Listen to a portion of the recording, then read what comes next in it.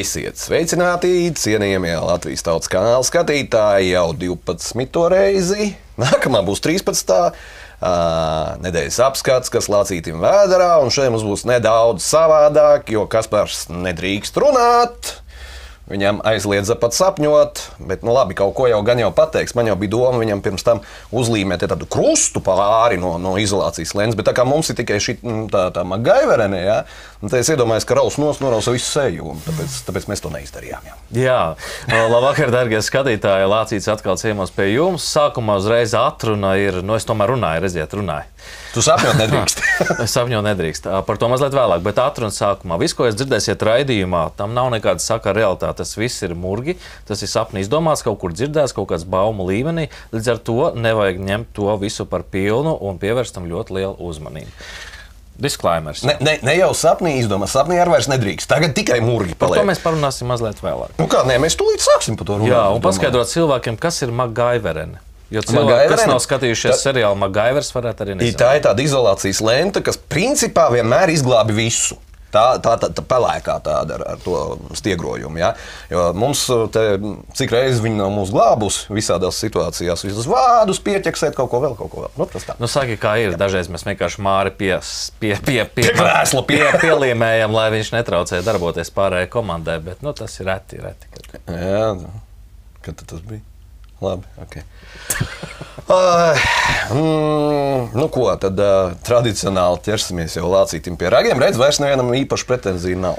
Jā, mūsējais lācīts ir ragains. Un, uh, nu, tā, ko tad ķeramies klāt? Kas param? Kas par ko tu esi sastrādājis? Neko. Kā neko. Sasapņojies atkal kaut ko, un, un rečekisti uzreiz pievērš uzmanību veselu rakstu tev veltījuši, TV nec pilns. Mēs varam arī parādīt Kas par to drīkst komentēt? Tu šito biji nofočējis. Nu, kas tur ir tāds? Ko tu tur gribi nokomentēt? Nu, zini, kā tas viss raksts, ko es biju uzrakstījis, ļoti daudz Latvijas tautas kanāla lasītāji noteikti to ir jau izlasījuši. Un, um, stāsts bija par to, kas notiek Jākapilī, un vairāk tur tika uzdot dažādi jautājumi. Protams, to rakstu izveidoju sazinoties ar daudz dažādiem cilvēkiem, kas ir speciālisti attiecīgajās jomās. Uh, un kas sniedz man savu skaidrojumu, tad izvelkot ārā to grāmatu, ko viņi man izstāstīja, tad man vajadzēja tā koncentrēt uzrakstīt. Nu, cilvēki, tie, kas prot domāt un saprot, viņi bija sapratuši un dalījās. Nu, un tad, kad bija jau pāri 3,5 tūkstošiem cilvēku dalījušies, un tas ir liels skaits priekš Latvijas, tie ir simtiem tūkstoši, kas pievērš uzmanību tam. Tad arī Rečeka, vai precīzāk, Rebaltika, veseli trīs žurnālisti bija Pamodās. pievērsuši uzmanību. Jā. Jā. Un tad viņi sāka teikt, ka nu, es sapnī noteikti to neesmu redzējis, jā, un, un ka nevajag ar to arī aizbildināties, un, un kad es dezinformators esmu, un ka es esmu to visu izdomājums kaut kāds sarakstījis, un tā tālāk.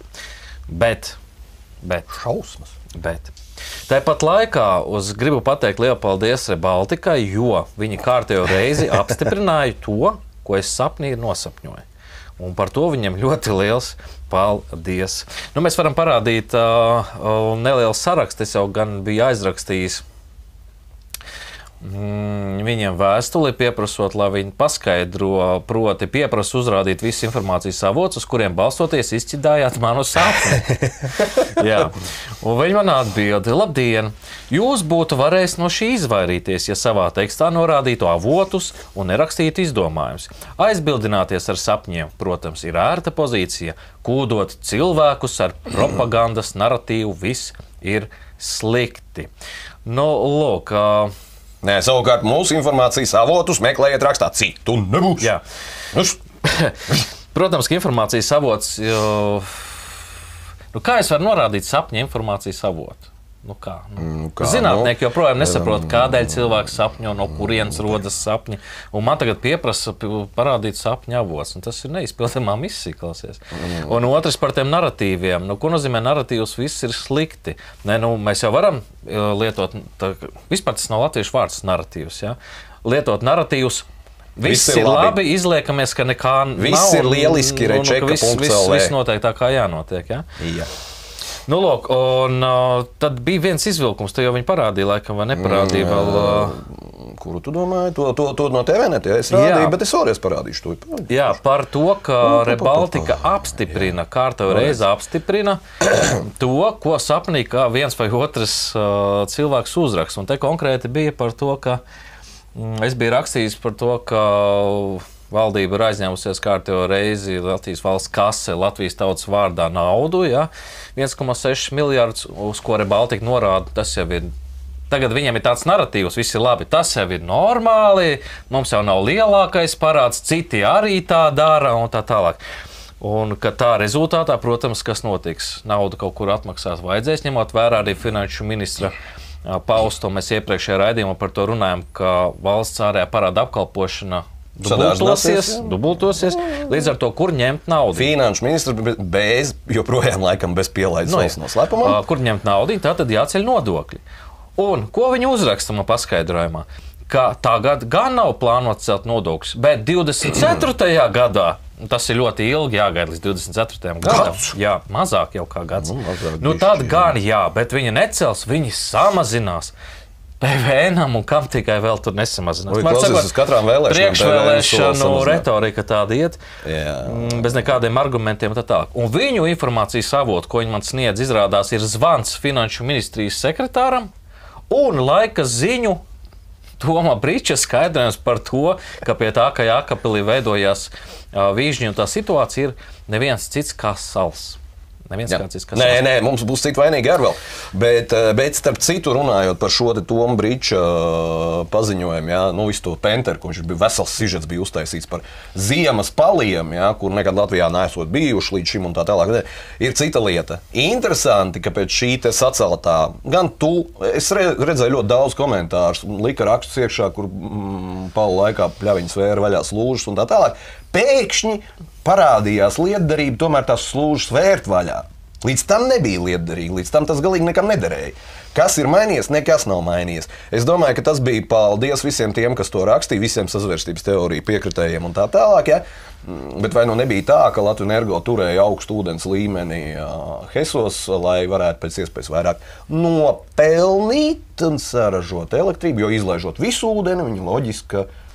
Nu, redz, te var redzēt, ka tur ir Baltikas raksts un nevis lasījis. Nē, es es pateicu, ka tam nav nekāda sakara ar to. Nu, jā, jā, nu, kā jā, es jā, vispār jā, jā, iedomājos kaut ko tādu? Un tā kā es Rebaltikai aizsūtīju 99. gada rakstu, ko rakstīja savulaik vēl tajā laikā nepērkamie žurnālisti, bija tādi savulaik tādi suga tādi nepērkamie. Tiešām Tie- neatkarīgi. tieši, jā. jā, un kur bija rakstījuši rakstu. Zini, ar ko viņi konsultējās? Mm -hmm. Ar zinātniekiem, hidrologiem un tā tālāk. Nu, Tā- tad mums tāda arī ir? Rebaltika konsultējās ar finanšu ministra sekretāru un laika ziņu diktoru televīzijā. Nu, salīdzina jā, tos kapacitātes. Tur tajā no. rakstā es viņu arī nopublicēju savā profilā un Latvijas tautas kanā- kanāla profilā. Tas ir pirms 24 ā, gadiem. Jā, raksta jau, ka šīs situācijas risināšanai trūkst zinātniskās kapacitātes, ka joprojām cilvēki nezina, kā līdz galam to risināt. Un ka viens no risinājumiem, kā arī rakstā minēts, bija 4. Hesa būvniecība Daugopilī. 90. gada sākumā, 80. gada beigās tas bija jābūvē. Tas varētu risināt lielā mērā situāciju, kas veidojās Jākapilī un Pļaviņās, un mēs par to nerunātu visticamāk. Bet, uh, Man jau aizķērās, kas, nu, redzēs, es atkal uzvilcies. Ja? Man jau aizķērās tas, ka no cilvēkiem tā retorika, viss ir labi. Dambis, Dambis izturēja. Cik ilgi izturēs, mēs nezinām. Ja, bet viss ir labi. Pļavas aplūdušas, mājas aplūdušas. Nu, viens ekskavators labi. braukā pa Daugavu. Tam jāiedod ir ordenis kaut kāds, nu, kaut kāds bezsakars, pilnīgs, ko darīt. Nu, labi, šobrīd izturēja, super. Bet man tāda aizdoma ir, ka pārāk agri priecājaties.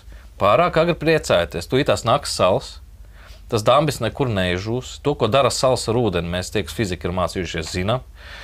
Dara? itās nāks pavasara, pavasara pali un plūdi. Ja? Un, un, ko, ko, ko, ko jūs gaidat? Nu, kur ir izcinājumi? Nu, kas tagad? Nu, ko? Piebērs smilts. bišķi. Vienīgais ir tas, ko es dzirdu, tagad ragaini par prezidentu. Es atvainojos. Nu, par A, to kur- mums būs atsevišķi. Kurš dambis sargās? ragaini un vispārējo.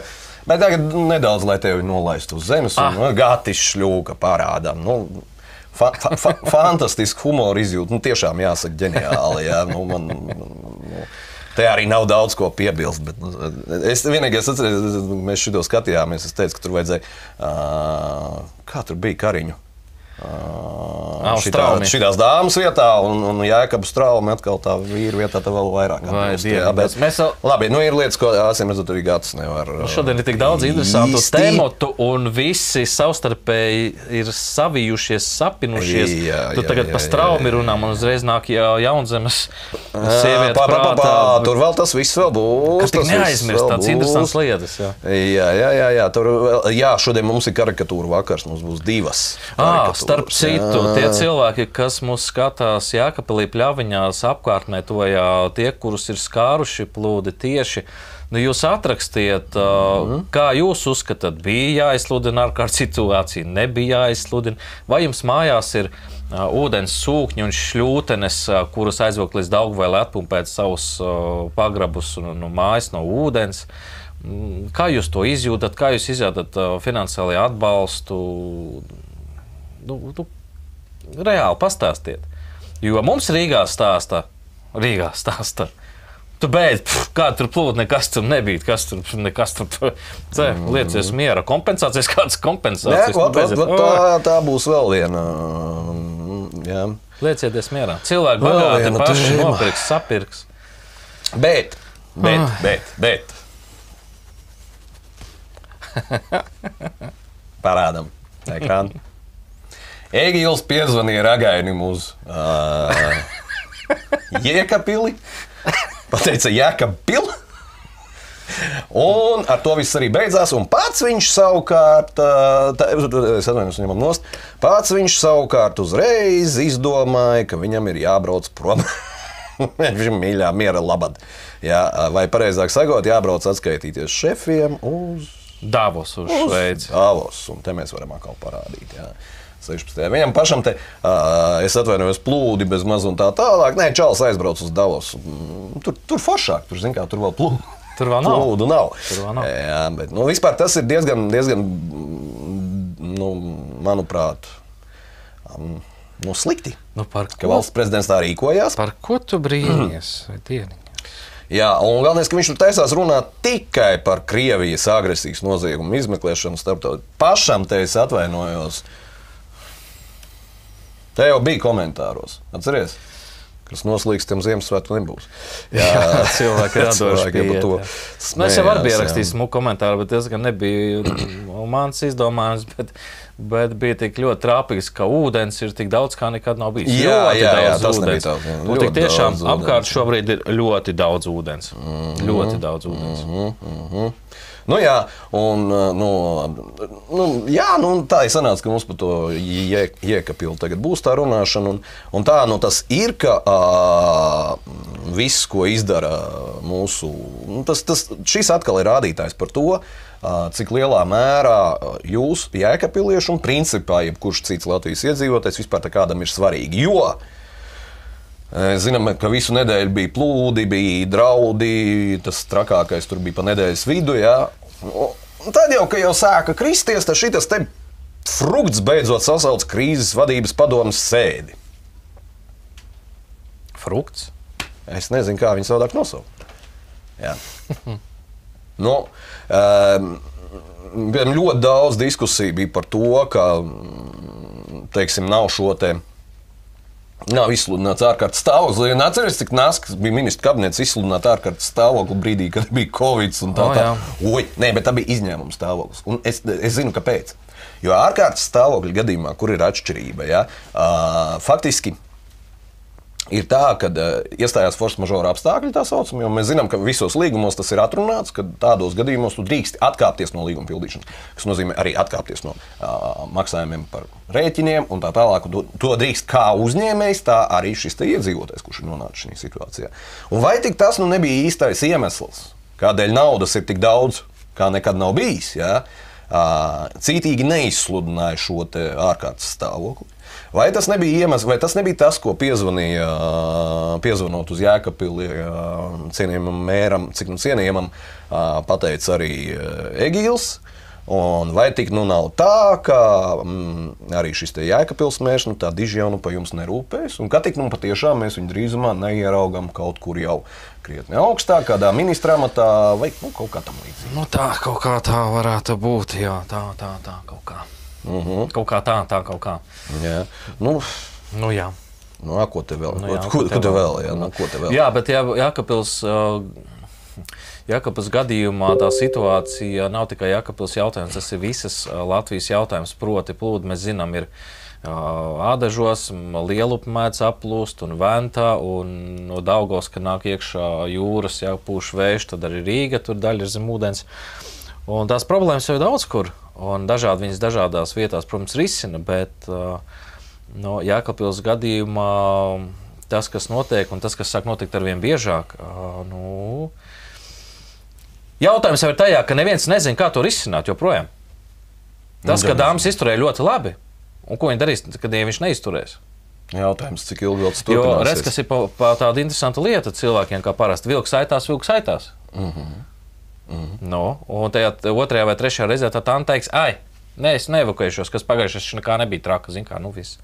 Un Tev Nu, Viņš jau tagad to teica. Jau. Jā, tā kā tev ir nāks iekšā, un, un, un, un, un viss tas mājas ņems plikšķi. Otrajā stāvā iebarikāda. Viņa nepadomā, ka to pirmo stāvu nonesīs, tas otrais arī būs lejā. Jā? Nu, cilvēks loģiski par to nepadomā. nu, tās jā. koka mājas, kas tur var būt? Nu, un taisn tā. Nu. Un, starp citu, man būtu aicinājums jā, Jākapiliešiem, ja nu ir tā, ka man ir tādas aizdomas tikai arī, arī kaut kur, nu, nē, tas bija murgs, nomurgoja, jā, ka nekas tur vēl netuvu nav beidzies. Un ka patiesībā mēs ļoti daudz ko neuzzinām par to, kas tur notiek patiesībā. Ja ir te, teiksim, mūsu skatītāju starpā vai, vai kāds, kas zina, kas tur notiek, droši sūtiet materiālus. Un tā tālāk mēs, protams, ka izvērtēsim. Bet Nu, jā. Par to būtu jārunā. Bet mums ir risinājums, mums ir skaidrs, kāpēc plūdi. Ah. Tomam Lūsim ir pilnīgi skaidrs, mēs varam parādīt ekrānu, ka viņam ir šizofrēnija, manuprāt. Redzot, kas notiek ar Daugavu, varētu teikt, ka pat ūdens, kas nāk no Krievijas, vēlas šeit visu iznīcināt. Tom Lūsi, tu esi slims. Goda vārds. Manuprāt, protams. Es, nes, es nezinu, no kur vēl trakāk. Nē, nu, paskaidrot cilvēkam, ka Toms Lūsis ir ā, TV nežurnālists, Jā. kurš regulāri raksta dažādus rakstus, kas ir morāli, ētiski vai pieklājīgi audzinātam cilvēkam. Nu, maigi sakot, izraisa sašutumu, nezinu, nu, riebumu, vai arī jautājums, kādēļ vispār par to ir jāraksta. Bet Toms ir tāds gudrs, jā, spēcīgs uh, vīrietis labākajos gados. Nevar zināt, kas viņam vairāk patīk, meitenes vai puiši. Ir aizdoms, ka tieši ne meitenes. Bet jā, tu viņš, viņš nu, es kaut kā viņu man jā? šķiet, es redzēju, staigāju pa mežu. Tur tā, jā, Ah, viņš vēl tavā krājā dzīvo. jā, kaut kur viņš tur blandās. Nu, lūk, un, un raksta. Es jau teicu, nu, jāizstājas ir pie Baltkrievijas robežas Dambis ciet. Mm -hmm. Ja? Mm -hmm. Un nekāds Krievijas ūdens Latvijas uh, cilvēku tajos krānos Rīgā. Nu, mm, ko jūs vispār? Jā, jā, jā. Jūs mazgājaties ar no, no okupanta teritorijas nākošu ūdeni. Jūs viņu lietojat Dzert, uzturā. jā, jā. Jūs viņu lietojat kanalizācijā. Jūs, jūs pa Tev viņu nebūs. Tev ar nebūs ūdeni. Ar ūdeni dzert, jā, krievi. Nu, Nē, es domāju, citu vārdu uz D sākās, bet labi. Tā kā ir jau, ir jau kaut kāds robežs, mēs pat esam runājuši, bet nu nevajag jau palāmprātīgiem palikt un, un, un šizofrēniskiem. Mm. Nu, jā, man vienīgi zin, reizēm rodas jautājums, tas Toms pats tic tam, ko viņš te. Nu, Tas ir labs jautājums, viņš pats tam tic. Zini, kā man jau šķiet, ka viņas tur ļoti labi apstrādā. Ka pie viņiem brauc kaut kādas lekcijas lasīt, un viņas ļoti es, labi es nezinu, apstrādā. vai to var apstrādāt. Es, es, nē, es, es, es piekrītu, iespējams. Saprot, tā vide, es- kurā tu esi, ja tev tur. Jo propaganda ir kā no vienas, tā no, otra, no otras puses. Viņi ir apusē. Nu, nav tā, ka tikai viena un otra tā kā klusē un neko. Nu, tā nemaz būtu nekad. Nevelti strīdāja ar divi cilvēki. Ir vajadzīgs trešais, vismaz, kurš to nu, kā, mm, izlemj, ja? kā tur ir bijis vai nav bijis. Nekad Jā. tiesā nav tā, ka iz, ja pasludina spriedumu. Arī pateicis, nekad. Bet nekad tiesā nav bijis tā, ka ir viens, viena strīdus puse. Un tā kā viņš pasakā, neuzklausot otru, nemaz bez lieciniekiem, tad uh, kurš pirmais atnāca, tam pieņem Es lēmumu. tevi iepriecināšu. Ir bijis. Jā, ir bijis. Nu, jā, ir bijis. Es pat zinu cilvēku, kam tā ir bijis. Jā. Labi, dodamies tālāk. Ā, nu, jā, bet nu, pirms tam jokoju, jokoju par to. Nu, redz, nu, reku, ir ievērojami paaugstinājis knapu priekšnieka algu. Mēs varam parādīt, varbūt. Jā. Uh, tu esi dzirdējis, ka knaps pēdējā laikā būtu vispār kaut ko atklājis. Esmu. Esi? Kā viņam vārds bija? Jā, kāps straume. jā. Ja? Straumi. Esmu. Jā, ko tad? Un tas ir saistībā ar to, ko to labs bija piefiksējis. Uh, no Twitterē bija rakstījis. Tas ir uh, Jākaps Straume atklāja, Mhm. ka mm, Ašarādens, finanšu ministrs, ir atjaunojis jaunzemu amatā. Bet Un- Jēkabs Straumi to? Klausies, jā, viņš atklāja, bet ko viņš atklāja? Viņš atklāja to, ka viņai bija arī izlikts Twitterī um, paziņojums, mm -hmm. ka viņa tagad darīs to un to. Mēs vēlāk paklausīsimies, ko viņa darīs. O, jā. Bet viņš atklāja, ka viņai var ielikt laiku. Iedomājieties! Atstādina par to, ka vidā notiek korupcijas darbinieki, korupcija um, lielos apmēros, augstas amatpersonas tiek aizturētas, atstādinātas izspiež naudu, viņa atstādina. Pēc tam atnāk cits finanšu ministrs no tās pašas gan partijas un ieliek viņu atpakaļ iekšā. Um, nebija kaut kur kā karikatūra. Pagaidiet, līdz tam mēs vēl tiksim. Bet reku, ieliek nē. atpakaļ. Jā. Un, un korupcijas apkarošanas uh, biroja vadītājs, kam būtu jādara viss. Nu, būtībā pirms viņa noņem, viņam jau vajadzēja aizbraukt pie viņas un uh, sašņurēt gan viņu, gan visus pārējos. Viņš ieliek laiku. Forši! Forši, nu, viņiem acīm redzot, siltas attiecības. Un tāpēc arī algas Jo paaugstinājums. valsts ieņēmuma dienas, kā mēs labi zinām, arī ir represīvā iestāde. Un, kā mēs labi zinām, tad represīva iestāde pret pārsvarā uzņēmējiem. Tātad naudas tur arī grozās cits, jo galu galā kāda bija kukuļu summa, ko mēģināja izspiest no tā paša ramoliņa - 100 tūkstoši. Nu, normāli, zin, šitā, ja no katra, tad baigi pasmuko. Uh, Mēs to uh, tuvojamies video vai mēs esam starposmā? Mēs starp video? tuvojamies video, bet es gribēju teikt, ka izrādās, ka redzi, šitam te straumēm iepriekš alga bijuši 4814 eiro un paaugstināts līdz 6256 eiro. Ko tu viņam nepielika līdz astoņiem, kā pārējiem?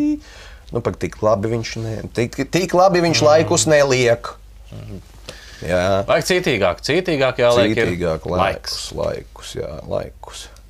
Nu, labi, tu jau dīdies un gribi to video. Jā, Jā, vajag parādīt, lai cilvēki arī redz, ko mēs esam redzējuši. jā tūlīt. Jo gal galā. Latvijas tautas kanāla skatītāji neskatās panorāmu. Līdz ar to mums šādi tad, bet mēs jau arī nē, mums ļoti daudz, un paldies liels jums, ka jūs atsūtat mums dažādas materiālus un, un lietas, kuras mums varbūt paskrietu garām, bet uh, Jā, tādēļ, ka jūs atsūtat, atbildēt. protams, jā, bet uh, tādēļ, ka jūs atsūtat, mēs šo to varam izmantot un salikt to puzlīti mazliet savādāk. Skatāmies video. Ja? Skatāmies video.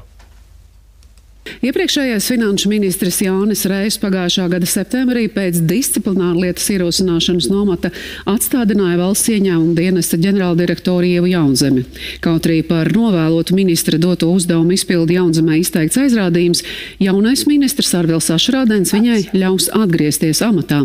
Lai darbu turpinātu, Jaunzemē tiks doti vairāki uzdevumi, kas būs jāizpilda noteiktā termiņā un par kuru izpildes gaitu regulāri būs ministram jāziņo. Viennozīmīgi ir skaidrs, ka nav pilnīgi viss kārtībā par spīti ieguldītajiem darbam, joprojām ir ko darīt. Un tas, ko es pirmām kārtām redzu, atnākot eh, darbā, protams, ir personāla pārvaldības jautājumi. Un personāla pārvaldības jautājumi gan budžeta kontekstā, gan šie veicamo pienākumu kontekstā, gan arī runājot par šo, li- es uzskatu, ka ir jānodrošina vēl lielāka atklātība no mūsu puses. Tad jāpārkārto darbs tādā veidā, ka tieši tā tie korupcijas riski nevarētu iestāties, jo ir pilnīgi skaidrs, kā darbiniekam ir jārīkojās, ja viņš satiekās ar nodokļu maksātājiem. Jaunzeme min trīs galvenās prioritātes nākamajā darba periodā - atklātību, procesu optimizāciju, kā arī vidi pārēju no represīvas uz servisu iestādi. Dienesta ģenerāldirektora amata pienākumus tūlīt pildīt vēl nesāks. Viņa pašlaik atrodas darba nespējā. Jaunzeme cer atgriezties darbā šā mēneša beigās, taču tas vēl būs jāsaskaņo ar ārstiem. Nu, kas, a, kas tev nepatika? Man, ne, man nepatīk. Nē, viņa ir atjaunota darbā. Jā. Bet darba viņa, kā viņai ir daudz kas jādara, viņa daudz ko nav paspējusi izdarīt, un viņa saprot, ka jā, jāuzvedās un viss. Bet viņa nevar veikt to darbu, Jā. jo viņai ir darba nespēja. Nespēja. To, ka viņa ir darba nespēja, to jau mēs zinām, un tieši tādēļ viņa arī tika atstādināta. Bet, nu, labi, jā, ārsts pie tā ir vainīgs. Nu. Un jūs pievērsiet uzmanību, nu, tie, kas pamanīja, pamanīja, neatiniet atpakaļ vēlāk raidījumu. Trešais punkts, ko viņa apņemās darīt. Un to jau runā nevis sazvērstības teorija, kaut kāda kanāla vai opozīcija, bet runā Latvijas valsts, nu, tā kā Latvijas valsts televīzija. Trešais punkts valsts ieņēmu dienestu no represīvas, represīvas iestādes pārtaisīt par nodokļu maksātājiem draudzīgu. Ah, tu nezināji, ka viņi ir represīvi. Nē, zināju, bet nekad jau Latvijas televīzija to nestāstīja. Nu, Tā atklātā tekstā. Jūs pamanījāt, jūs pievērsiet uzmanību. Arvien vairāk pa publiskajā telpā parādās tādas lietas, ka nu, tāda sajūta, ka nu, tie opozicionāri ir pārvākušies uz Latvijas televīzijas ziņu redakcijas uh, galda vai datoru. Un tā kā rakstā, viņi pārņem mūsu retoriku. Nu, galīgi nav forši. Mm, Nē, es domāju, ka tas ir mazliet savādāk. Par to mēs beigu, beigās pieskarsimies raidījuma, raidījuma noslēgumā, bet tagad mēs parādām no otras gata šļūkas karikatūra. Ai, nu skaisti. Nu, skaisti. Jā, pa vienām durvīm iekšā, pa otrām ārā. Nē, pa tām pašām viņiem tur tās virpuļienes. tā. Tāpēc tas karuselis. Te uz Tur vienas- tās dārgās virpuļu durvis. Uz vienas sienas ir valsts uzrakstīts, uz otras ieņēmuma Ieņēmuma dienas. Jā, jā, jā, jā, Tā viņa jā, ir cirkulē. Jā, jā. Un tieši par kādu korupcijas apkarošanu jūs cerat Latvijā uz ko? Noziedzīgā sistēmā dzīvojot un strādājot un redzot to, kas notiek. Nu, man, piemēram, nav tādas pārliecības, ka kaut kas vismaz tuvākajā laikā varētu mainīties. Jo tas atklāti parāda to, ka jūs varat bļaut, jūs varat kliegt, bet tie, kas ir nu, lielā mēroga korupcionāri, viņiem viss tiek piedots un viss turpinās. Jā. Un nevienam nav nekādu jautājumu. Jā, un paceļ algu. Un vēl paceļ algu. Un vēl paceļ algu, jā, un tas varētu būt nākamais, kur mēs pieskarsimies. Jā, jo, nu, šodien mums, ai, ai, ai, ai, ai, Kariņš mums ir topā. Šodien Kariņš mums ir topā. Jā, es savā rakstā, starp citu, arī pieminēju to, ka jā, tiem, kam ir nepieciešama jau kāda atbalsts no augstāk stāvošām amatpersonām, neceriet, viņam ir pārāk mazas algas. Tikai 8000 eiro plus ceļa un transporta kompensācijas, komandējumi, komandējuma izmaksas, dienas naudas visādas un bezmaksas biļetes uz teātri. Bet ko par to domā pats ministru prezidents? Jā, skatāmies video. Nopietnu, ļoti nopietnu kritiku ir raisījis lēmums, eh, ko gan vēl iepriekšējā saima pieņēma, eh, runājot par augstāku amatpersonu algu palielināšanu. Desmit tūkstoši iedzīvotāji parlamentam ar saviem parakstiem gan prasa amatpersonu algas iesaldēt. Deputāti secinājuši, ka situāciju ir pamats vērtēt un uh, šo bumbu ielidinājuši valdības dārziņā, ka valdībai tagad būs tas jāvērtē. Nu, un kamēr politikas vērotāji savukārt brīdina, ka šis faktiski varētu būt tāds lūzuma punkts tāds valdības un sabiedrības attiecībās un ļoti nopietnas, jūsuprāt, pašreizējos apstākļos pie varas esošiem politiķiem būtu jāsolidarizējas ar pārējiem iedzīvotājiem. Eh, Par atalgojumu laikam cilvēki mūžīgi ir strīdējušies, un es prognozēju, ka uz priekšu arī mūžīgi strīdēsies. Vai politiķiem būtu jāsolidarizējas ar citiem šajā brīdī? Eh, Tad jautājums, kādā veidā šobrīd nesolid- nesolidarizējas. Mēs esam valdībā lēmuši visās jomās palielināt algas, minimālā alga. Mēs redzam, privātā sektorā atalgojums iet uz augšu, pedagogiem eh, tiek papildus nauda eh, veltīt eh, iekšlietu darbiniekiem, mediķiem. Kā arī ierēdniecība kopumā tur tas nenotiek. Ierēdniecībai arī ir paredzēts tie lēmumi, vēl nav pieņemti, viņi politiski pieņemti, viņi valdības budžeta procesā mēs arī pieliksim visai ierēģiņu sistēmai. Un tas, kas ir izstrādāts, ir sakārtot atal- atalgojumu sistēmu, kur būtu zināma hierarhija. Tas ir augstākās amatpersonas, ir atskaites punkti, un visiem pārējiem ir atvasinājums no tā. Un tagad šī sistēma tiek šādā veidā sakārtota, lai mēs varētu noturēt, tā skaitā valsts pārvaldē, kompetentus cilvēkus, viņus piesaistīt. Bet darbā. jautājums ir par augstākajām amatpersonām šobrīd. Uh, Tad jūs ar šo gribat teikt, ka to iesaldēšanu, ko prasa šie desmit tūkstoši, tomēr nevajadzētu īstenot? Uh, Es uh, neuzskatu, ka tas būtu jādara. Es uzskatu, ka mums ir šī atalgojuma reforma jāveic. Un es uh, ticu, ka šie desmit tūkstoši cilvēku uh, labi domādam, varbūt ne katrs no viņiem ir līdz galam iedziļinājies, ko tas faktiski nozīmē. Jo, lai palielinātu kopējā ierēdniecībā pēc sistēmas, tev ir arī jāpalielina nu, augstākām amatpersonām, tā laikam saucās. Um, jā, ne, nu mums jau tā gāja jautrība, valdīja liela, un, un, un es domāju, ka arī pie ekrāniem tieši tāpat. Bet ne, nu, galvenā atziņa ir tāda, pacelt var tikai tad, ja paceļ man. Jā, Neviens savādāk nevar. Nesolidar, Ā, par šito nesolidari. nesolidarizējās. Jā. Jā, viņš bija pārsteigts, vai tā mēs nesolidarizējamies. Jā. Privātais sektors taču paceļ algas. Privātais. Nevis valsts, privātais. Pēdējā laikā nav nācies dzirdēt, bet Jā, labi. paceļ, paceļ. Mēs es jau es te ugunsdzēsējiem prasīju, teicu, jā, paceļ. Mm -hmm. Priekšniekam 1000 pieliek, mums tur 30 eiro. Mm -hmm. Normāli. Nu, jā, jā, jā. Solidāri, abi, citu, solidāri abiem diviem pacēl. Jā, solidāri, jā. starp citu par solidaritāti runājot, jā, paldies visiem tiem, kas ir solidāri un mūs atbalsta. Jā. Solidarizējās. Solidarizējās, jā. Uh, arī tiem, kas nesolidāri. Nesolidarizējās. Mežģīmēļās. Nu, jā. uh, bet, uh, jā, tiešām ir aicinājums to turpināt, jo plāni mums ir deviņi stāvēni. Ja? Un, un, un, un, uh, es zinu, ka šo, šo raidījumu noskatīsies kaut kādi 6, 7 tūkstoši kā minimums katrā no platformām. Nu, nu, tiešām tie 5, 1, 5, 10 eiro jums neko nemaina. Bet, ja jūs to vienreiz izdarītu visu kopā, mēs, mēs katrā raidījumā neprasītu neko. Tas ir viens, un otrs mums tiešām jābrauc un jābrauc diezgan tālu atkal. Jau. Tā, atgriežamies pie solidarizēšanās. Nu, lūk, Nu, solidarizēšanos. ministra prezidents atklāti pasaka, ka redzēt, ko viņš parādīja. Ja? Mēs, Jā. un pēc tam tas, kas paliks pāri, ja paliks pāri, nu, tad tur kaut kam, kaut kur. Uh, ņemot vērā tehnisko budžetu šobrīd, ņemot vērā to, ka ir atkal aizņēmušies 1,6 miljardus, un jautājums, cik viņi vēl aizņemsies. Ņemot vērā, ka eksports sāk bremzēties, ņemot vērā, cik ir aizņēmu, aizvarušies uzņēmumi pa pagājušo gadu, un es solīju iepriekšējā kādā no raidījumiem pastīties. Uzņēmuma reģistrā, kas tad Nu, mums tur ir? nepaskatījos, ja, Es ka pastījos, es paskatījos, jā. Nu, lūk, tad attiecīgi par 21. gadu dati ir tādi, ka oh, Latvijā 21. gadā likvidēti ir 14,159 uzņēmumi. Ja? Un Vai. pagājušajā gadā, pagājušajā, tas ir 2022. gads, ir likvidēti kopumā 10,959, tātad 11,000.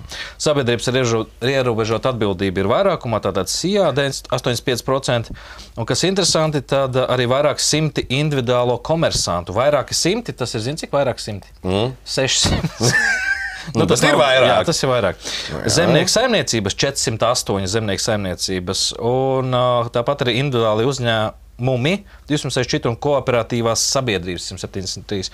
Var sakot, viss notiek, viss iet uz augšu, gobzams staigā pa Rīgas ielām un o, Brīvības ielu. Skaties, kā viņš jau filmē. Nē, tas skaloks. ir nestīšos uz gobzem. Es, viņš, viņu tur nevar redzēt. Viņu tur Paldies nevar redzēt. Dievam. Bet stāsts nav par to. Ā, viņam vairs nav operators, viņam vienbrīd bija operators, kurš viņam netika krīze. līdzi. Taču krīze. Bet stāsts ir par to, ka arvien lielāks un lielāks problēmas, un uzņēmumi tiek likvidēti un bankrotē. Un mēs te apkārt riņķī dzirdam tikai, kad Man viens Jānis ciet, bija kāds ciet, jā, jā. atrakstījis, Jā, ka jā, jā. jādod trīs tādas nu, kafijas vietas, kur no rītiem vai pusdienās var aiziet kādu kafiju būciņu apēst. Viņi vienkārši, nu,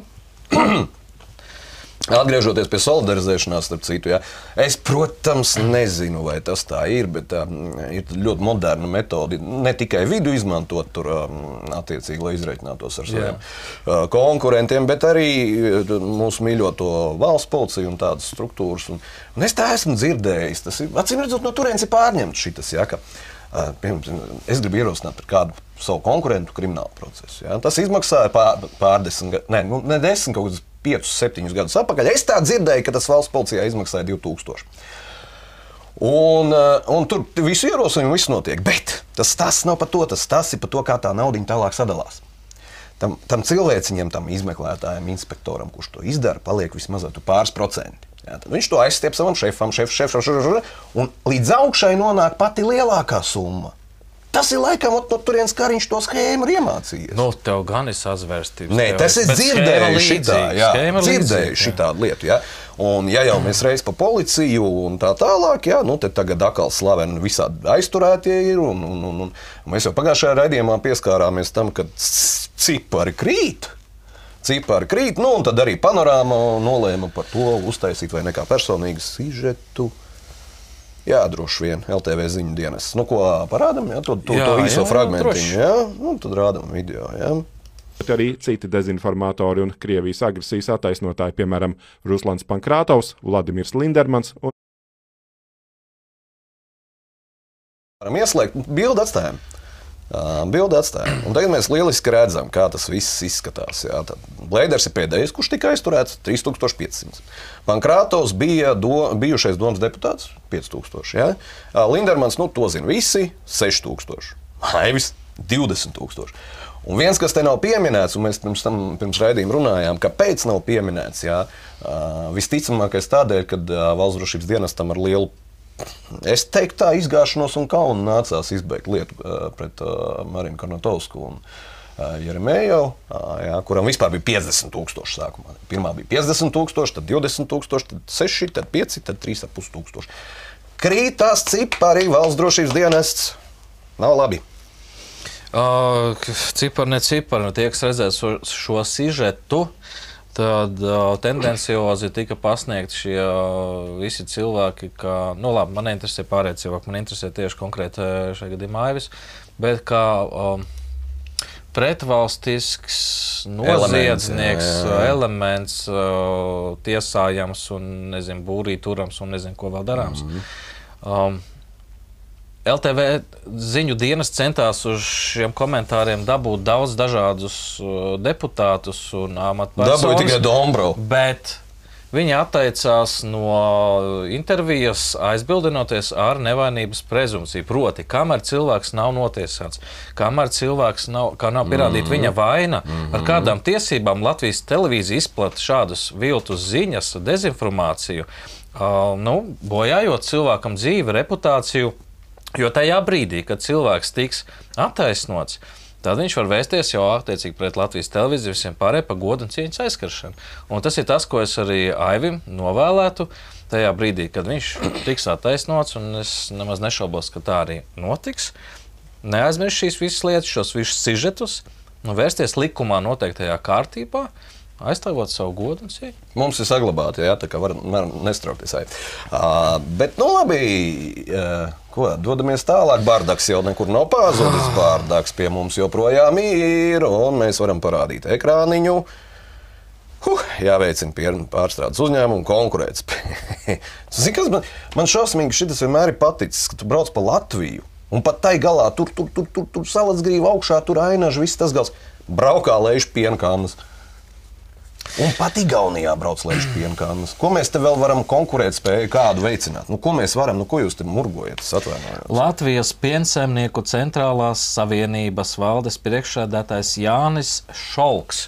Viņš norāda, ka no tā piena daudzuma, kas Latvijā tiek saražots, proti viena trešā daļa ir nepieciešama, lai nodrošinātu vietējo patēriņu. Divas trešdaļas iet prom uz eksportu. Uh -huh, un, lai saglabātu konkurētspēju, mums ar steigu ir jāceļ nu, attiecīgi izslaukums un, un, un dažādi produkti, kas no piena tiek iegūti.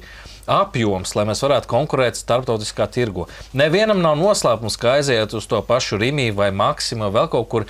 Tad tas igauņu piens vai tas lietuviešu piens. Laiš, laiš kurš ir atvests vēl no turienes, viņš ir lētāks nekā tas, kas ir ražots šeit uz vietas. Nu, kāpēc tā? Nu, jūs, protams, paši varat aizdomāties. Bet šeit atkal tāda ļoti tāda.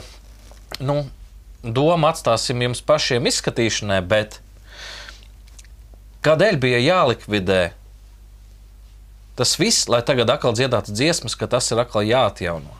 Nu, proti, priekš kam bija jālikvidē un jāiznīcina piena nozare kā ļoti liela peļņu nesoša savu laiku Latvijas laikā. Latvija bija viens no lielākajiem, ja ne lielākais sviesta eksportētājs vispār uz pasaules. To mēs tūlīt parādīsim. Un video. parādīsim video no arhīva 1967. gads. Uh, es domāju, ka šis šalks varētu šo apstīties un priecāties. Bet, nu, diemžēl, vai mēs to sagaidīsim, šaubos. Bet nu skatāmies. Mm -hmm. Латвия по надою молока занимает одно из первых мест в Советском Союзе. Молоко, как известно, нежный продукт. Его лучше всего перерабатывать на месте. С этой целью в республике будет введено в строй еще семь предприятий молочной промышленности.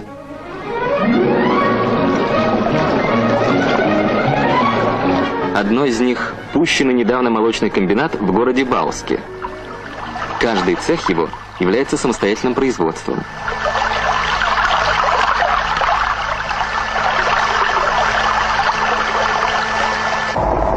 Здесь, например, вырабатывают сыры.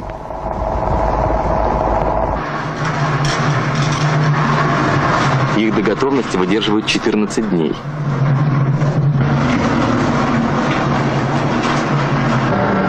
А это маслобойный цех.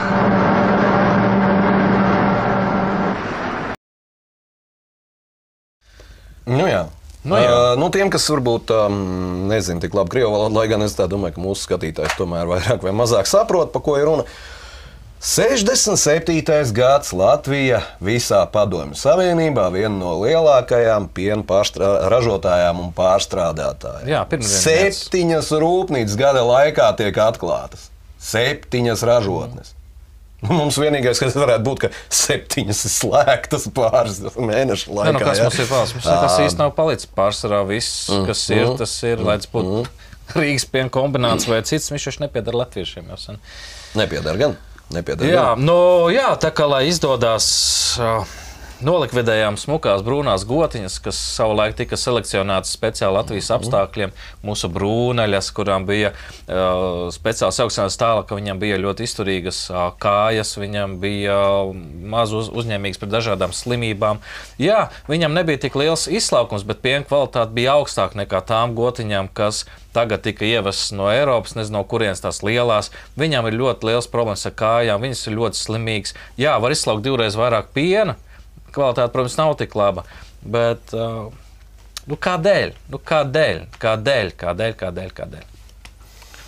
Nu, kā, kādēļ? Nu, tāpēc, ka bardaks ir tāds, kāds viņš Es ir. tikai saprotu, nu, tu gribētu aiziet uz veikalu un nopirkt tepat tās Jālgavas cukuru, fabriks ražoto cukuru. Nu, Tu jau vari nopirkt, viņi jau pārdod tikai sen neražo br- vairs šeit. Tas, jā. nē, tas ir brands tikai. Viņi taču pārdod iepakojums Jālgavas cukurs. Es zinu, iekšā zinu. tur taču nav Jālgavas cukurs. Protams, ka tas nav. ir tikai apmāns. Uh, nu, viņš gribētu, nu, kāpēc nē? Nu, protams, jā.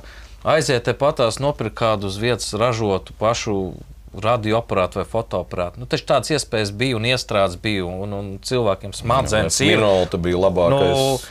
nu kādēļ, nu kādēļ mūsu tēva vectēva pieļauj šo te barda, kas pašlaik notiek? Man ļoti daudz jautājumu. Kurā brīdī viņi paņēma un kurā brīdī? Nu, zini, kā ir. Nu, nu, protams, ka man tūlīt izšvilps, un, un varbūt arī kāds uh, no urā patriotiem teiks, ka tas ir galīgi traks. Bet man ir tādas ļoti lielas aizdomas, uh, ka ir viena liela problēma notikusi. Tad, kad mēs tā, atguvām neatkarību, ja? uh, nenotika lustrācija. Nenotika lustrācija. Un visi vecie krāpji, tas ir tāpat kā pēc katrām saimnes vēlēšanām, ja? mm. uh, palika tur, kur viņi palika. Un ko te jūs gribat, ja tie paši komunisti ar visu ideoloģiju, pie tam neaizmirsīsim, ka, ja tu sadarbojies teiksim, ar Čeku vai, vai, vai, vai kā, ja, tur, tur, tur nevarēja apmest praķīt otrādi. Tev ar viņiem ir jāturpina sadarboties nereti visu mūžu, jo uz tevi ir tāds kompromiss savākts, ka tu nemaz nevari neko citu darīt. Ja? Nu jā, iespējams, mēs pat jā, varētu tā būt, ka nenotika tiešām tā lustrācija, un tie aboli netika attīrīti no puvušajiem. Līdz ar to tā kaste sāk turpināt pūt.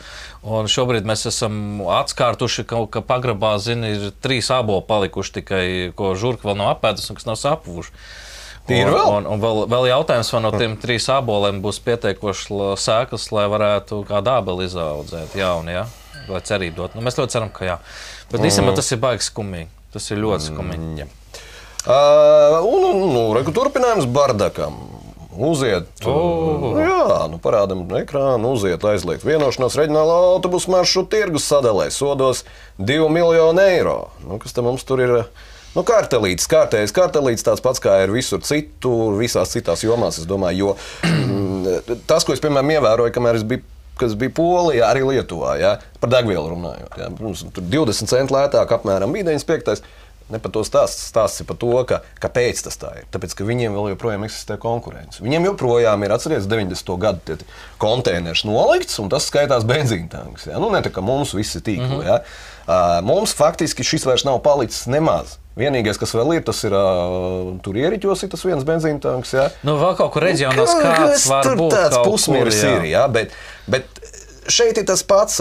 Šeit šo te Ir sagrābušas lielās kompānijas, ja, kuras nezinu, kāpēc pieder atkal jau tiem pašiem vecajiem labajiem čekistiem. Nu, piemēram, Nordeka ir Jurasavītska, Valmieras autobus, Liepais autobus parks ir Šķēlēm. Un, ir, un, un tā trešais tālāk, ir tā Latvijas tālāk. sabiedriskais autobus. Jā, Jā, kas tiem telefons. tur no Rīgas domas, kurš nepārtraukti visu laiku pieķēra. Šķēlēm ar šlēseru. Viņam uz daļas tur bija tā liepais autobus. Liepājs, jā, jā, jā, Tas ir viens jā, no jā. figurantiem. Jā, jā, nu, jā. nevar būt atkal uzpeld mūsu mīļie uzvārdi. Nu, protams, ka tur nav nekāda sakara ar to, par ko tagad runā. Un es jums varu pastāstīt, ar ko tas viss beigsies. Ne ar ko. Nē, nu nomaksās tos divus miljonus. Ā, varbūt pārs, Klausieties, no 2 miljonus liepājas autobusu parkam pagājušā gada apgrozījums bija 15 miljoni. Mhm. Tā viņi raksta. Peļņa 3. Mhm. Nu, tas ir pēc papīra. Jā, mēs jau nezinām, cik ir tā nu, nu, reālā peļņa. Jā, jo, jo, jo, jo, jo nu, jā. Tāpēc nu, sadalīt tos divus uz trījiem. Nu, kas tur ir? Mhm. Mhm.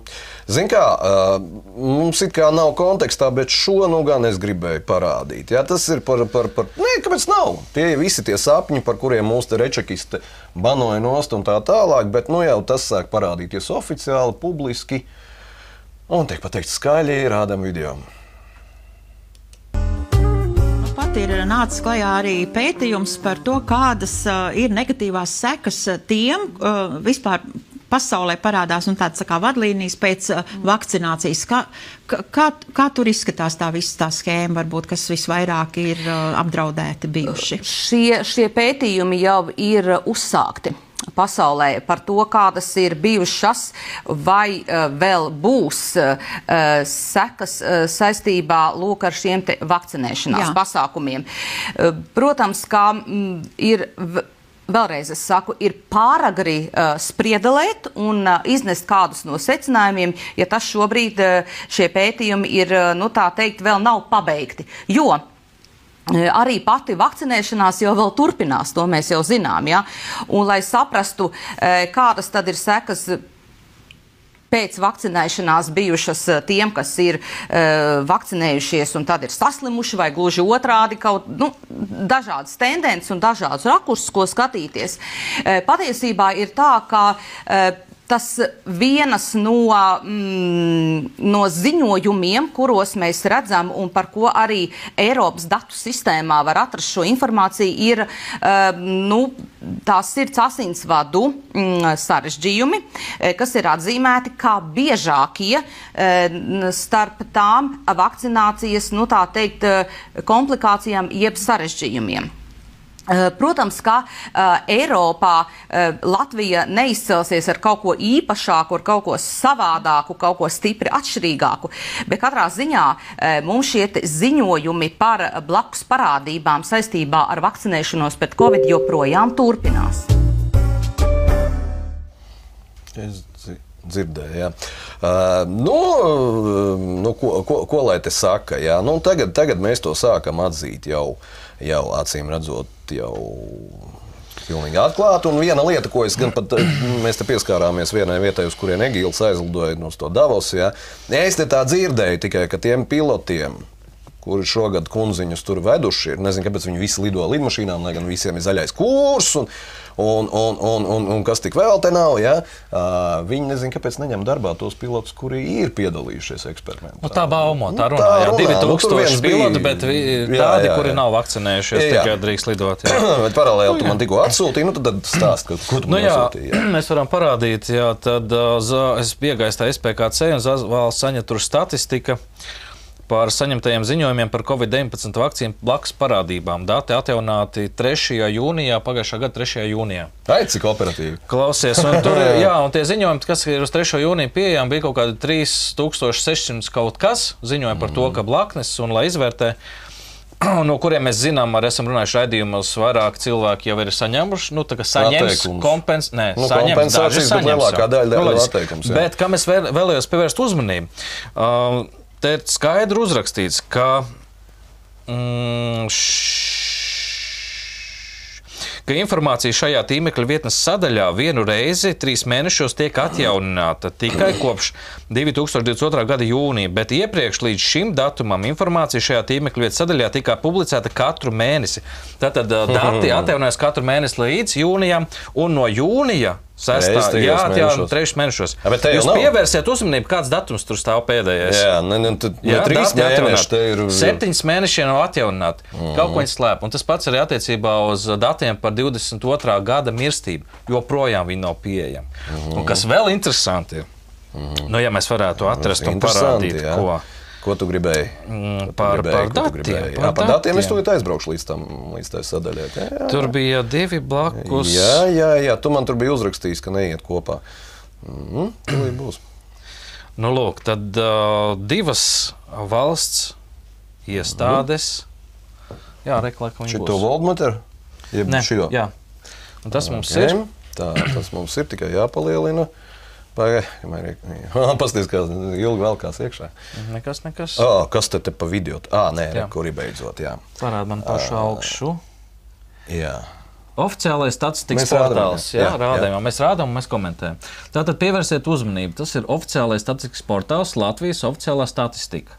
Mhm. Mirušo skaits kopējais pa 2021. gadu. Opā! Pievērsiet uh, uzmanību 34,600. Ja? Neviens netuvojās cits gads. 34,600. Tad 20. gadā. 20. 20. sākās. Covid, 20. pirmajos mēnešos, marts, aprīlis parādās pirmās vakcīnas. Nē. Jā, tad 20. jā, jau? jā, aprīlī Jā. jā. jau doktorus un vispār Man liekas, sāku 21. vakcinēt. Nē, nē, nē, nē, nē. 19. sākās Ā, Covid. jā, jā, 20. pareizi. viņa nervozē, ka nav Jā, jā, viņa jā. nopirkusi pa vakcīnas, ko viņa tagad jā. tiesā. Un uh, 21. ir tas. Uh, Lecieniņš kāpj tāds augšā, lecieniņš, ja? neliels lecieniņš, Tādēļ es jā. ļoti gaidu datus par 22. Bet ne par to stāsts. 2021. gads, 34,600 mirušo Jā. oficiālā statistikas portāls. Ja? Mhm. Atveram tagad otru saiti vaļā. Mm, ņemam no šito, jā. Jā. Ok, tūlītās. 34, Ah, jā. 1600. Tā, un šis ir LV portāls. Jā, arī Latvijas Mhm. portāls. Mm, Haigi, viņam patīk ilgi vilkties iekšā. Nu, laikam Tas arī rādītājs, informāciju. jā. Tā tad uh, pievērsiet, tas ir centrālā statistikas pārvalde. Ja? Jā, 2021. gada mirstība ir divreiz lielāka nekā dzimstība. Un skatāmies, cik par 21. gadā jau 34,142. Tātad tas pats gads tikai par 458 mirušiem mazāk nekā blakus Latvijas centrālās statistikas pārvaldē norādītie. Pagaid, pagaid, pagaid, pagaid, pagaid. pagaid. Ah, 21. Jā. 34, 600. Jā, redz, es to parādīšu. Tā. Iezīmēšu vēl, jā. Jā, 34, 21. gadā. 600. Un Un šeit tā pati centrālā statistikas 30, pārvalde 442. 34. Jautājums, kura no šīm pārvaldēm melo? Jo Mm. Krimināla likumā ir paredzēta atbildība par datu viltošanu un uh, manipulēšanu ar datiem. Un tad mēs ļoti gaidām par 22. gadu, uh, cik kas tur notiek. Es noteikti rakstīšu iesniegumu par šo, bet kā var būt, ka no vienas centrālās statistikas pārvaldes oficiālie dati atšķirās par 405. Tas ir ne, nepilns pustūkstots cilvēku. Mm -hmm. Nu, kaut kas nav tā kā īsti kārtībā. Kas tev nav kārtībā? Bet, nu, tās jau, protams, ir Viss sazvērstības ir teorijas. kārtībā, viss kā nākās, viss kā vajag. Uh, bet nu, tagad ķersimies klāt tai tēmai, kas, es domāju, interesē mūs daudzus.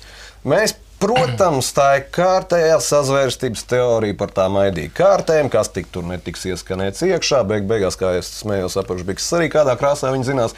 Jā, ā, bet reku sākās.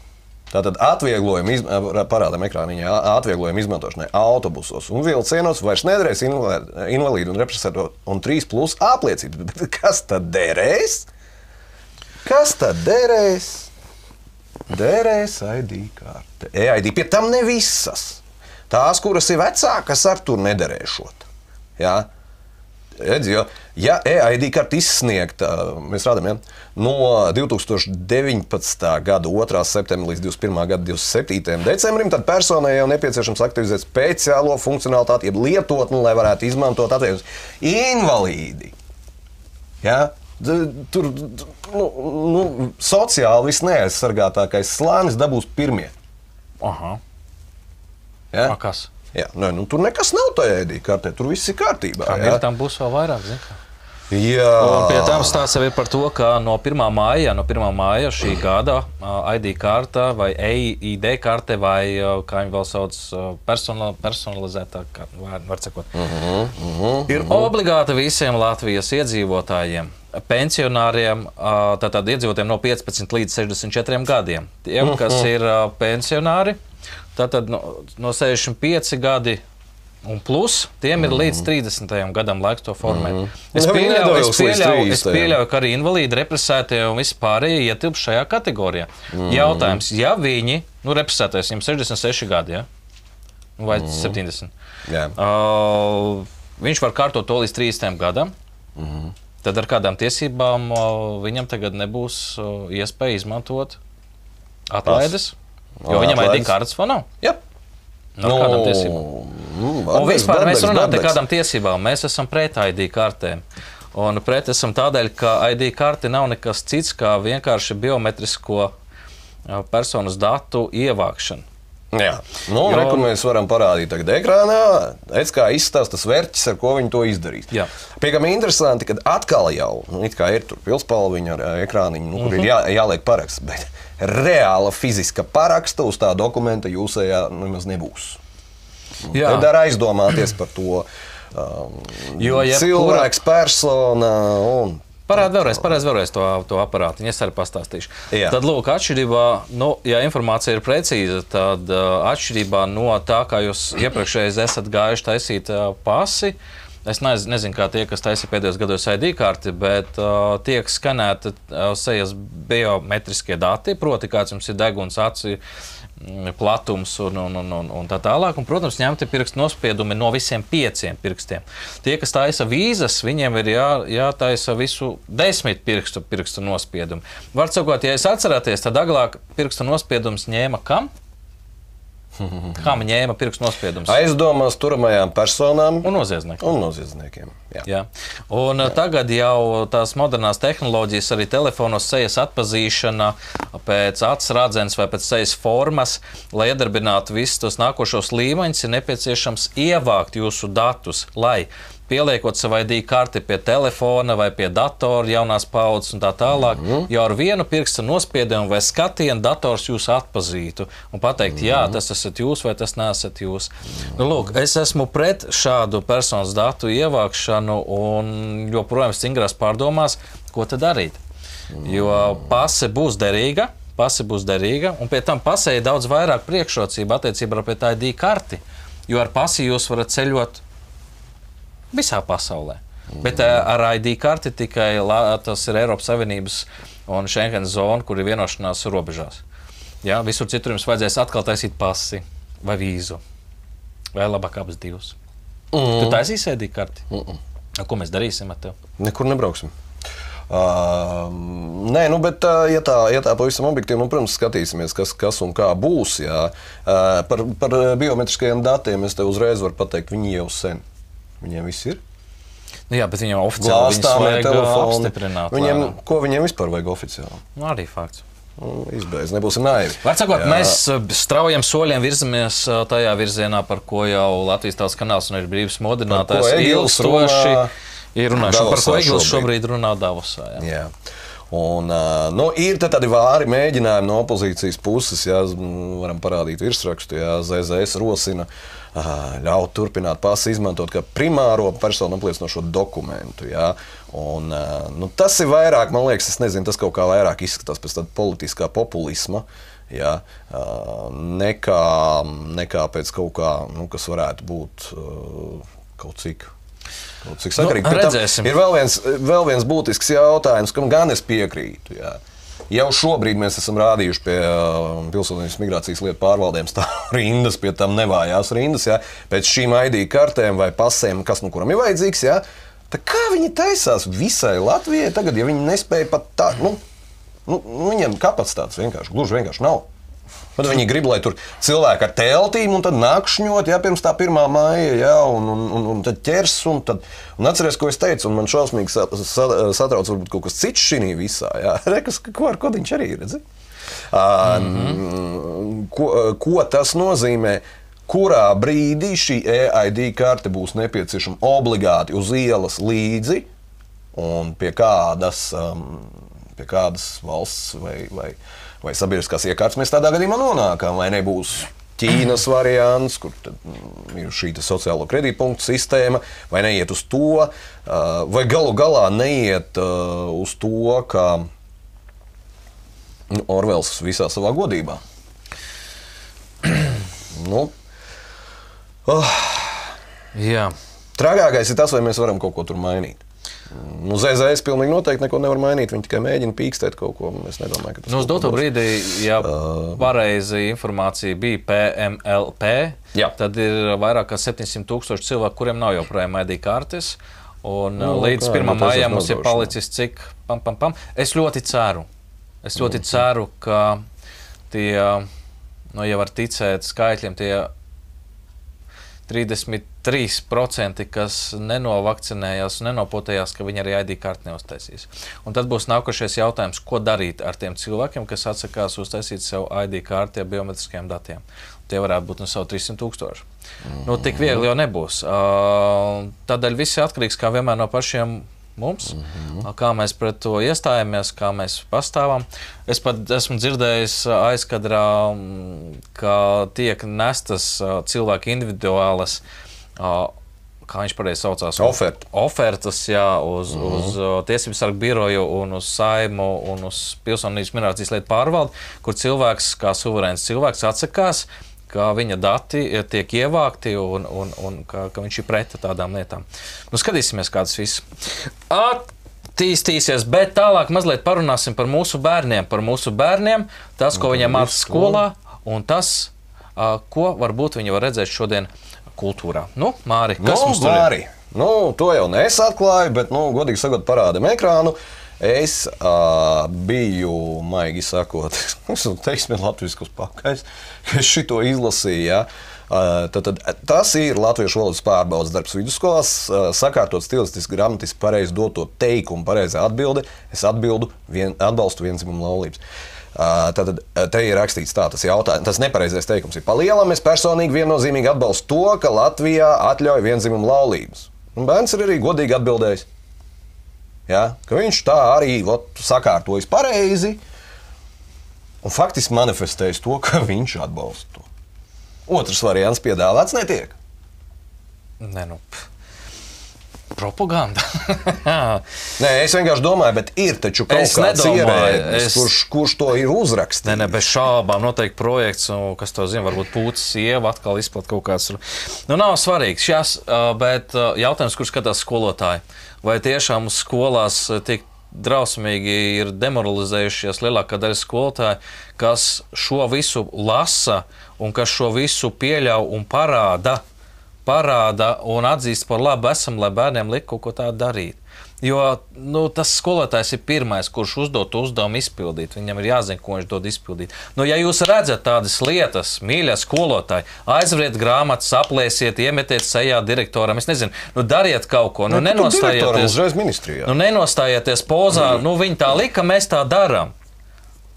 Iniciatīva izrādīt, nu, nu, jums nav, neviens galvu nu, nenoraus. Nu, cik var, nu, johaidi ir ārā. Nu? Nu, jo Haidī ir ārā, nu redz, mēs Man tā teica, es tā izdarīju, baigā skolotāja to es. Jā, jā, jā. jā. Nu, e, patiesībā jau zināmā mērā atkal jāsaka, jā, jo nu, tā jau šī sabiedrība uz to tiek virzīta šobrīd. Zinām, mēs mani Uz nevienu reizi par to ir bloķējuši Facebook, un ne tikai par to, ka es atļaujos redzēt ielikt bildes, ka vienā vai otrā skolā sk- vīrieši pārģērbjās skolotāji pa sievietēm, sievietes pa vīriešiem, bērni arī pretējos dzimumos staigā, tēlo un viss notiek. Nu, bet pasties uz šo skaisto bildi. Un, un cik daudz patiesības tur patiesībā ir. Jā. 40. gadā, kā izstījās vīrietis, labi tas ir tagad pārspīlējums, tas ir no modes skates. Un, nu, ko, es nezinu, kā to var pa modu nosaukt. Jā. Šorts uz žaketes uzvilkt, tur krūta klausies. Tu zini, tu saki pārspīlējums, bet 1940. gadā modes skatē arī bija pārspīlējumi, bet pat tie pārspīlējumi nekādā jēgā neiet kopā ar šo visu. Paldies! Un, un, uh, Nu jā, nu, Nu jā, nu, nu jā, tādēļ skolotāji nu. skatieties, ko jūs dodat, ko bērni lasa un kāds viņus ietekmē. Un tagad mēs dosimies tālāk uz kultūru. Darbie vecāki, ja jūs gribat parādīt saviem bērniem kaut Ā, kādu labu, to, jā. kādu skaistu, ļoti noderīgu izrādi, tad mēs, Latvijas tautas kanāls, pēdiņās, iesakām jums apmeklēt un ieklausieties Latvijas Leļu teātri. Latvijas Leļu teātrī ir iestudēta izrāde ar nosaukumu nu, Puscilvēks, ne vairāk, ne mazāk. Mm -hmm. Mēs parādīsim, varbūt, mm -hmm. video. Tā mēs parādīsim no sākuma, re, kur ir puscilvēki. Jā, un Tā pievērsiet saucās, jā. uzmanību no gadu skaitlim. Ja? No cik gadiem bērniem šī izrāde ir atļauta Jā. skatīties? Ja? Jā, jā. Jā. 7, 8, plus. Tā, paldies. Uh, un tūlīt mēs parādīsim to pārējo visu, kas nu mums te bija. Jā, te bija tas video, ja tas video Nē, nē, bija zemāk mazliet zemāk. jābūt, Ā, jā, reku, reku, reku, reku, reku, svaigāks. Jā, jā, jā. jā. Mēs, es domāju, ka tad mēs rādām to video. Jā. Jā. Tas ir viss Ā, izteiksmīgākais. noskatieties, paskatieties, Es pagaidu, jūs ar vēl, savu- ne, nelaižam augšā. Jā. ar savu pirmklasnieku esat gatavi uh, to nostīties? Un vai nav tā, ka kāda skola varbūt organizē bez jūsu ziņas uh, braucienu, Ekskursiju, jā, uz jā. Teātru, uz izrādi puscilvēks, kurai jūs iedevāt naudu, nemaz nezinot, ko šajā izrādē rāda. Skatāmies! Un vēl es ieteiktu, pi- pirms skatāmies, pievērst uzmanību tam, ar kādu fantastisku vieglumu, prieku un, un laimību Jā. To pasniedz Latvijas televīzijas žurnālisti. Tā skatāmies. Ja? Ar vājiem nerviem nestīties. Viss ēters ir te. Leļu teātrī jaunās izrādes puscilvēka režisors Edgars Kaufelds par iestudējumu piekdienu, 13. decembrī, joko pirmizrāde notiks īstajā dienā, jo lugā ir daudz mistikas un arī šausmu elementi. Lūgas autore Linda Rudene kopā ar radošo komandu pētījusi, kas ir lietuvēns, sumpurnis un vadātājs. Šie gārmi ir gadsimtiem ilgi un izrāda puscilvēki aicina skatītājus. Nu, baisa sapņi, lai nerādās, kuriem ir nedaudz vairāk par septiņiem gadiem. Septiņi plus stāsta Ilza Strenga. Viņiem katram ir sava vājība, k- kā no viņiem var atbrīvoties un tā kā, lai viņi iet garām. Pieaugušiem vajadzētu zināt, kāpēc neēdams sēnes sauc par suņu sēnēm. Izrāda puscilvēki biedējošiem drabulīšiem liek noskriet. Neviens jau īsti nezina, kāds izskatījās sumpurnis, lietuvēns un vadātājs. Leļu teātra aktieri ir gatavi iepazīstināt ar savu versiju, gluži kā zinātniskā lekcijā. Vadātāji! Atlaid mani! Mēs iepazīstinām ar šiem trim tēliem, kādi viņi ir, kā viņi izskatās, un kā viņi uzdarbojas. Un, uh, ir arī kāds stāsts katram no šiem tēliem. Un arī svarīgā informācija tāda, kā no viņiem tikt vaļā un kā no viņiem izvairīties. Vajag sākt čurāt! Tad vadītājiem acis piečurājoties, un viņš vairs Aktieris Artošs Putniņš ir priecīgs, ka nedaudz ticis prom no prinču lomām. Iegūst sapņu augumu divus metrus. Var acī ielikt biedējoši lēts un tēlot sumpuri. Sumpurņus var tā vienkārši sakot, paņemt uz, uz viltību. Viņi ir lieli, viņi ir lieli, iespaidīgi, um, šausminoši droši vien, bet viņus var ar viltību. Jā. Baigais eksperiments. Man patīk, ka te tomēr ir tas kaut kāds savā ziņā risks. Nu, līdz galam es, piemēram, vēl nezinu, kā bērni reaģēs. Es nezinu, kā vecāki reaģēs, kāda būs tā miedarbība starp tiem rēgiem. Būs labi. Es domāju, vai ir kaut kas tāds, ko es nebiju noģīdis jau pirms tam. Teiksim, tas informatīvais materiāls izrādē to mītisko zināšanu sakārtojumu mazliet pa plauktiņiem. Izrādē Lietuvēnu un vadītāju atveido aktrises Dārsa Vitola un Santa Digis. Bet jaunajiem aktieriem jākļūst par mošķiem, rēgiem, dzīvniekiem, ēnām un citiem radījumiem, kas veikli kopā ar tēliem darbojas scenogrāfa Kristiāna Brektas skatuves telpā. Sajūtas kā bailes, viņas eh, iepazīt, sajust, saprast, tikt ar tām galā. Mm, Es, piemēram, arī uzskatu, ka, nu, ka aiz racionālās pasaules, aiz, izskai, aiz izskaidrojamās pasaules pastāv kaut kāda šī neracionālā, mistiskā pasaule. Uz krūtīm sēž mazs sarkans vīriņš. Izrādes atmosfēru rada Jūra Kaukuļa mūzika un Rūtas Briedas kostīmi. Gaisa mākslinieks ir Uldis Andersons. Pirmizrāda piekdiena, 13. decembrī. Ilza Strenga, Edgars Bitte, Latvijas televīzija.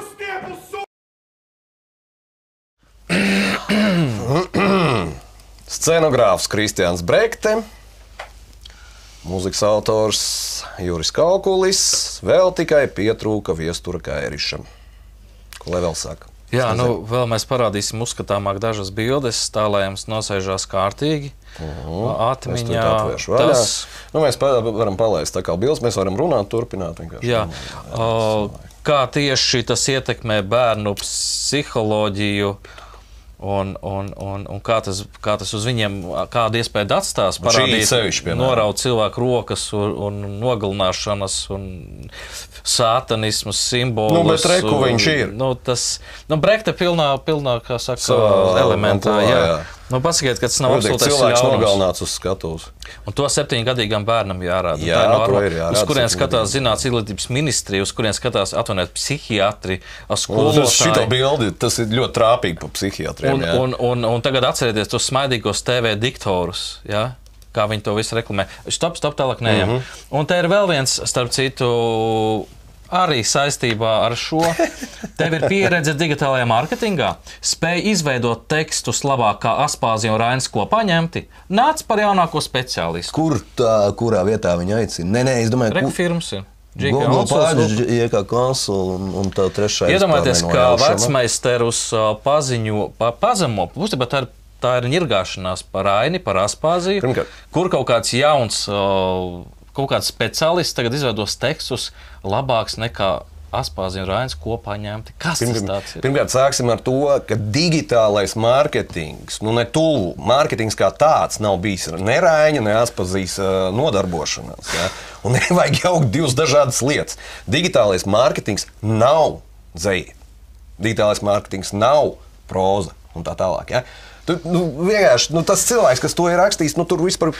Brekta, laikam, Brekta droši vien. Bet Brekta, kā scenogrāfs, Brekta, tev bildēm, atsevišķs sveiciens, aizies uz baznīcu, iedod svecīt, ja tev izdosies pārmet krustu. pārmet krustu vai aizmet krustu. Es nezinu, ko, ko Viņš tur aizmetīs, jā. darīs. Viņš jau varbūt nevar paņemt rokā, viņam deg uzreiz. Cauri, jā, jā, jā, jā. Nē, nu, jūs, jūs ko, jūs vispār, nu, nu, Mhm. ne, te vispār, te, to? te, te vārdu nav, tas ir. Uh, Te, un pie tam tie aktieri, kas to atļaujās spēlēt, viņi ir tieši tādi paši. Tie vecāki, kas pērk biļetes uz šādiem teātriem, ir tieši tādi paši. Un tie bērni, kam tas tiek rādīts, būs tieši tādi paši. Tā kā skatieties, uz kuriem brauc uz bērnu, it kā varētu domāt, lēļa teātris, kas tur vai ne, lēlas, tralalā. Jā, Kāpēc man nav? Nu, labi, nav svarīgi. Es uh, katrā ziņā, ah, es tev, man liekas, sūtīju to uz tavu. Es jau tādu skatu, ka cilvēki raksta, es gribu aiziet uz izrādi. Oh. Nu, Es ceru, ka, nē, mīļie, man es ceru, ka mēs jums ne, ne, ne, neuztaisījām Brektam antireklāmu tieši otrādi. Nu, tas nebija plānots. tieši otrādi bija plānots kaut kas cits pavisam. Jā. Uh, nav vairs. Nē, nu, īsais, īsais stāsts bija tāds, ka mm, runājot par šo visu ko, kopumā un kontekstā, bija tāda lieta, ka arī Ralfs netika Eilants uz Eirovīziju. Ja? Un, un, un, un, un šausmīgi bēdīgs bija, kad esot, kā man uh, pazīstams uh, draugs, uh, nu, cilvēks, kurš pietiekami labi pārzina mūziku un visu ar to saistīto, jo visu savu mūžu ir veltījis augsta līmeņa teiksim, mūzikai. Eilants, es neteikšu, kā viņš viņu vēl nosauc, ka Eilants esot uzrakstījis divu nošu un bočkas dziesmu. Tiem, kas nezina, tad ir mazboši. Bet nē, ne, ne, ne, ne par to stāstu. Stāsts ir par to, ka viņš, uh, es atceros, kur es atradīšu to, to, to, to skrīnu, ka viņš ir pateicis tādu lietu. Daļu, ja? uh, ko viņš tad ir plānojis? Kas tad ir bijis tajā plānā?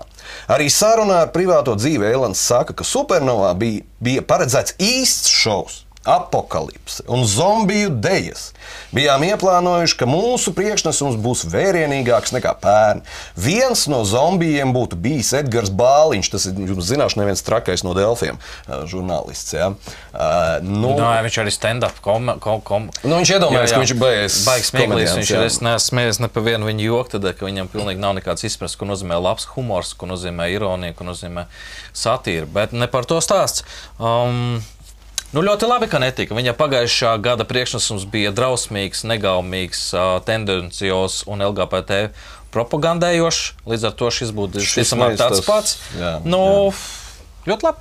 Nu, labi tagad- Viņam turpmāk tā iet. Un tagad es tikai par to mūsu estrādi, par cik es saku, ne jau mūsu skatītājiem, bet es domāju, ka vienai daļai cilvēku tā atmiņa tiešām ir pusgadu garumā. Nu, nē, nu tad atcerēsimies. Samantīna, Bafometa ragi. Tagad šis ēlants vienreiz, ēlants otro reizi. Kas mums vēl ir bijis no tādiem? nu, Brekte pats par sevi. Ja? Lai Jūs- teātris. Mīļie mani, jūs domājat, ka tas viss netiek darīts mērķtiecīgi? Jūs tiešām kāds vēl tam ticat? Es domāju, ka mūsu, mūsu skatītājs noteikti, noteikti netic šitām muļķībām, bet, nu, bet uh, ir jāpievērš. Arī tās pašas skolas, tas, tas ko mēs rādījām, tas, tas, tas teksts, es, tur, tak ne, nu, tur tak, nu, to nevarēja viens normāls cilvēks. Viss tas tā no sīkumiņiem un šādi pa pilieniem, pa pilieniņam uh, viss tiek koncentrēts un uh, veidots tas uh, gan sabiedrības viedoklis, gan jaunā cilvēka uztvere. Pie tam septiņos gados jaunākam viņam vēl nav psihi nobriedusi, un tas, kādu iespēju atstās, to neviens nezina. Un, uh, mums ar to jādzīvo, būs mīļie. Tā kā sekojat līdzi, kur iet jūs bērni, ko dara. Un, ja jūs redzat atklātu netaisnību, un jūsu sirds vai dvēsele saka, ka jāiestājās, paceliet balsi, iestājieties. Nezinu, aizrakstiet, iesniegumu, ziņojiet, nu, neklusējiet. Tādēļ, ka pēc tam atnāks pie jums, un jūs teiksiet, nu, es jau neko, es jau neko. Nu, tā kā te skolotāji. Arī klusēšana ir nozieguma atbalstīšana. Tikai klusējot, ir tāds krimināla likuma arī pāns. Ja? Neiejaukšanās mm. noziegumā vai nozieguma novēršanā ir arī līdzdalība tajā. Tā kā Nu, ko? Paldies visiem, kas atbalsta Latvijas tautas kanālu. Atgādinām, ka mēs šobrīd uh, esam palikuši režīmā tikai Latvijas vēderā uh, reizes nedēļā. Uh, šonadēļ plānots izbraukums ir uz aizputi un vēl dažām vietām, kur būs šī gada nu, teiksim, pirmās intervijas, bet uh, raidījuma formāta par to ir jārunā. Proti, uh, ir daži cilvēki, kas ir gatavi beidzot runāt uh, pēc diviem gadiem. uh, mums par to ir prieks. Un uh, raidījuma tieši runā Un dzīvās sarunas atgriešanās ēterā būs tajā brīdī, kad mēs būsim pabeiguši pārvākšanās uz jaunajām telpām. Cik vēl tas laiks mums aizņems, nezinām, bet pateicoties un tikai vienīgi jūsu atbalstam, jo vairāk jūs mūs atbalstat, jo ātrāk mēs to varēsim izdarīt, proti, iekārtot, lai varam atsākt jau arī pārējos raidījumu ciklus un arī Silvestra Sīļa jauno raidījumu sadzīves maģiju. Nu, es visu pateicu. O, beidzot. Um, labs ir. Uh, labvakar, ne, labvakar ne uz redzēšanos, un tad jau līdz nākamajai piekdienai, varbūt, cerams, varbūt bišķi ātrāk būs tie, tie, pa ko mēs te teicām. Ja? Uh, ja mums izdosies aizbraukt, nofilmēt visu un samontēt. Un tad jau, un tad jau attiecīgi, jā, līdz nākamajai piekdienai. Jā, līdz nākošajai piekdienai. Paldies liels par atbalstu, uz tikšanos. Galva augšā, deguna augšā. Ja ir kaut kas ziņojams, ziņojiet, rakstiet. Mēs iespēju robežās, protams, atbildam. Jā, es turpināšu. Un es gribu pateikt ļoti lielu paldies, ka jūs mums esat. Un tas iedvesmo arī strādāt, turpināt strādāt mūsu. Un paldies Rebaltikai, ka viņi atzīst mūsu darbu un, un apstiprina mūsu saka, aizdomus un sapņus, padarot tos par realitāti. Jo, kā teica viena garām ejoša komentētāja, gāju skatos, raksts nebūtu lasījusi skatos, Rebaltika nobanojusi. Jāizlasa. Iesaku visiem tieši tā pievērst uzmanību tām, ko Rebaltika bano, jo ļoti iespējams, ka tur slēpjas kāda patiesība. Jā, à, nē, es vēl gribēju šo gan pateikt. Un, piedodiet, un, un, un, un tas, tas, kas ir visas, starp citu, šī raidījuma kopsavilkums, visas tās tēmas, kuras mēs esam aizskāruši, viss, par ko mēs esam runājuši. Ja. Es zinu, Kaspar, ka tu neesi kā lasījis. Tu gan saki, ka mēs tev visu esam izstāstījuši jau. Džordžs Orvels 84. Jo Te nu ir tipiski tā situācija. Mēs jūs šeit, tas ir tas, kas bija tajā grāmatā arī. Mēs jūs savus cilvēkus mērdēsim, mēs jūs slepkavosim, mēs par jums nerūpēsimies. Mēs nebrauksim uz Jēkabili eh, valdības sēdes izbraukumu taisīt. Lai gan viņiem patīk dikt izbraukumu sēdēs, braukāt. Uz Daugos jā. fona. Jā, uz Daugos fona. Bet nē, mēs to nedarīsim. Mēs bļausim, ka tur gan ir sliktāk kaut kur ārzemēs. Jā.